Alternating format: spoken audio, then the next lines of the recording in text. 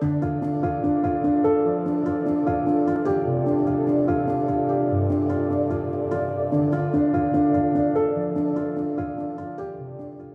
thank you everybody for being here. Uh, I'm Josiane Gauthier. I'm the Secretary General of uh. I have a few people to thank, of course. Um, the Dicastery of Communications for hosting us, uh, the KR Foundation for helping making this uh, event to make this event possible.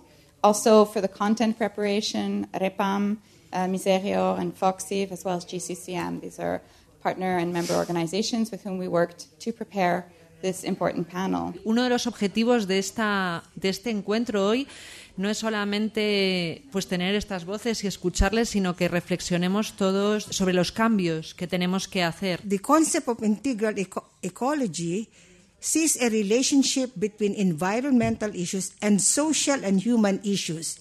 So this all these issues are all interconnected. So in the integral ecology we are not faced with two separate crises, one environmental and the other social, but rather one complex crisis which is both social and environmental, and it, it includes cultural ecology, quality of human life, regard for human body and common good and intergenerational solidarity. Io ho scoperto, per esempio, non lo sapevo, che tra il 1968 e il 1990 nella foresta amazzonica equatoriana sono stati scavati 352 pozzi di petrolio e 880 piscine di scarico. Le piscine di scarico sono degli enormi buchi nel, nel terreno dove vengono fatte confluire le cosiddette acque di estrazione, che sono il, il, in parte petrolio petrolio, in parte acque ricche di, eh, di metalli pesanti ed elementi radioattivi, quindi acque altamente, eh, altamente inquinanti. È una situazione quasi...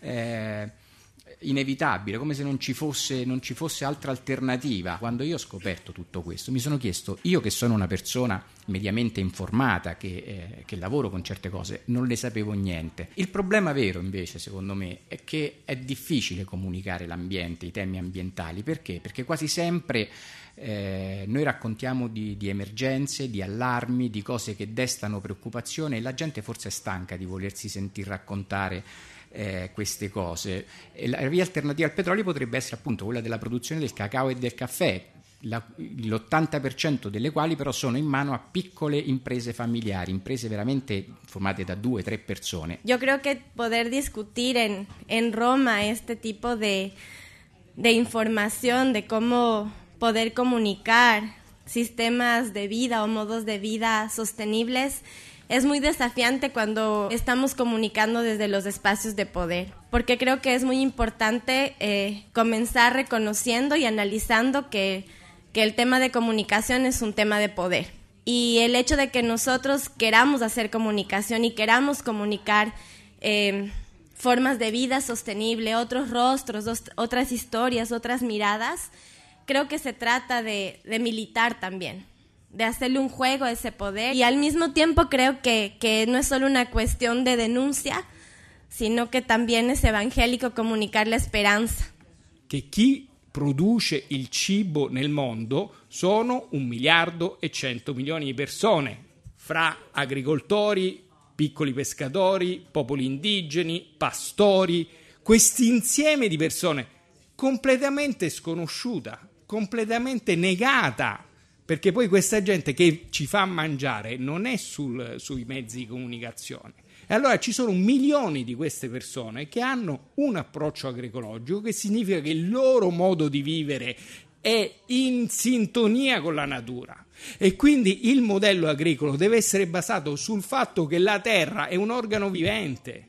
C'è vita là dentro, non è un posto dove devi mettere dei concimi chimici. Chiaramente questo significa valorizzare i nostri saperi, quando abbiamo riflettuto insieme su che cosa deve essere l'agroecologia, recuperare la nostra autonomia, i nostri conoscenze, i nostri saperi, trasformare strutture di potere. Perché se l'agroecologia è tutto questo, dobbiamo saperla raccontare e senza un ruolo fondamentale dei media, perché noi dobbiamo uscire dal mondo stretto agricolo e dobbiamo entrare nella società. Quando íbamos visitando las comunidades en la Amazonia, empezaba a preguntar Y la gente me empezaba a contestar y a contar, y mire esto y lo otro y lo otro. Para el periodismo esto es clave. Si usted no sabe, ¿de qué va a preguntar?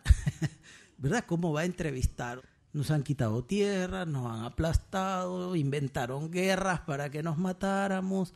Esa es nuestra historia. Y entonces la pregunta es, ¿cómo comunicar no esta tragedia? ¿Cómo transmitir la esperanza? Yo creo que a veces nos, nos enredamos en esto porque quisiéramos la imagen que mejor nos cuente la esperanza. El problema de la humanidad es que hemos perdido nuestra conexión espiritual. Nuestra conexión espiritual con lo profundo, con lo que nos empuja a actuar de una manera diferente, a mirar por los otros, a mirar por quienes están sufriendo, a reconocer el sufrimiento en este mundo, pero también a reconocer la esperanza. Creo que es una responsabilidad y un deber desde nuestra palabra o desde la posibilidad de, otorgar la palabra, de conectar la palabra de otras personas que no a simple vista son visibles o que no tienen de una forma muy simple de llegar a espacios de comunicación, poder lograr que esa conexión espiritual también se haga un eco. Entonces, para mí el tema de comunicar medios, eh, formas de vida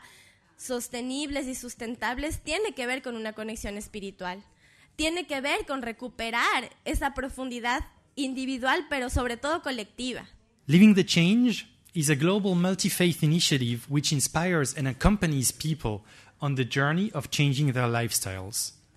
lowering their personal carbon footprint is one key answer to the climate emergency. The audience I will speak about today is people of faith and spirit. And the talk I will reflect on is a discourse which engages sustainable living not as a state, but as a dynamic process of change. Reflecting on the concept of integral ecology, which is offered by Pope Francis in Laudato Si', I believe there are two main ways it relates with climate friendly lifestyles. First, it invites us to understand sustainable living as an integral journey. Living the change is science based. We are inviting people to focus on the changes that have the biggest impacts, but as much as it is science based, living the change is grounded in faith. Our narrative frames climate friendly living as the embodiment of deeply held religious and spiritual beliefs and values. In other words, it speaks to the heart. The second space for such sharing is stories of change. Participants tell how their faith supports them in living the change and unravel both the difficulties and the joys of the journey. That is, their integral experience of change. Normalmente se habla de comercio justo, se habla de utilizar la bicicleta, se habla de otros estilos de vida sostenibles, pero a veces no hemos pensado, o sea, yo creo que muchas veces no, no, no nos hemos dado cuenta de en qué tipo de casas vivimos y de que quizá esas casas también podrían ser de otra manera. Desde la arquitectura es importante tener, tomar conciencia de todas estas cosas porque nuestras acciones eh, repercuten directamente en el equilibrio de, ecológico del planeta. Quiero poner unos ejemplos de arquitectura que, hemos ido realizando durante estos años. El primero de ellos era un edificio que estaba hecho con materiales naturales como es la paja, el barro, el bambú y, la madera. Una llamada de atención de cómo la arquitectura tenía que cambiar de dirección hacia los materiales naturales en lugar de utilizar tanto los materiales industrializados. Incluso la climatización del edificio la resolvimos utilizando los recursos naturales que había en el entorno, consiguiendo con recursos naturales, es decir, sin apenas gasto de energía, un resultado de eficiencia energética comparable a los equipos de aire acondicionados o de biomasa eh, más sofisticados. Otro ejemplo es, es, una vivienda unifamiliar. Entonces la decisión fue hacer una estructura de palafito para, eh, para no estropear el entorno natural y para destinar el presupuesto a los eh, trabajadores. Entonces es una elección el dirigir los presupuestos a las personas o a las máquinas. This Philippines remaining biodiversity and ecosystem that support it are under tremendous threats, as in everywhere in the world anyway. It's really the one that is um, taking away our natural resources, especially from our indigenous people. What are the main causes of ecological crisis in the Philippines? Very important. The first one, and I think all over in the Amazon, the extractive, profit oriented economy which is, of course, increased by globalization. they are engaged in deforestation, in mining, in destructive fishing methods. And of course, toxic emissions and waste from industrial activities and vehicles. Ecologically unfriendly agricultural and fishing practices, as we have said already, already or overpopulation, inefficient waste management. Sometimes we are doing that in school, we segregate it, but when the city um, truck will come, they will put all together again. Commitment is not an advocacy, it is a way of life. So, to build and nurture sustainable communities, you need a prophetic spirituality of creation, ecological spirituality. Life is dancing with the cosmic playfulness of God. Quando forem comprar ou negociar, prestem atenção. Tem que buscar a fonte concreta para saber de onde está vindo, porque nós já fizemos a nossa parte desde há muitos e muitos anos, desde nossos ancestrais fazemos isso, preservamos e cuidamos da casa comune. E quindi il nostro atto individuale deve essere responsabile, non possiamo non pensare nel momento in cui mangiamo da dove viene, chi c'è dietro, il lavoro che c'è dietro, il valore di quel lavoro. E allora come collettività dobbiamo lottare, dobbiamo combattere quotidianamente. La comunicación no es solo informar, la comunicación es construir procesos participativos de autorreconocimiento, de fortalecimiento de la identidad, de la cultura. Entonces, algo que yo he aprendido de la comunicación amazónica, por ejemplo, es el tema de los relatos, de las narraciones. Creo que los pueblos amazónicos tienen ahí una profunda fuente de sabiduría que nos ayuda a explicar el pasado pero no se quedan ahí, sino están en el presente y en el futuro. Cuando vi el Amazonas por primera vez, realmente yo quedé impresionado. O sea, e, es, es la, la visión de lo inmenso. Y la inmensidad se llama Dios. El río es el gran organizador de la vida de estos pueblos. Es la carretera, es la vida, es el ciclo. El río marca un ciclo vital. Entonces, ¿qué marca el ciclo vital? Si llueve o no llueve.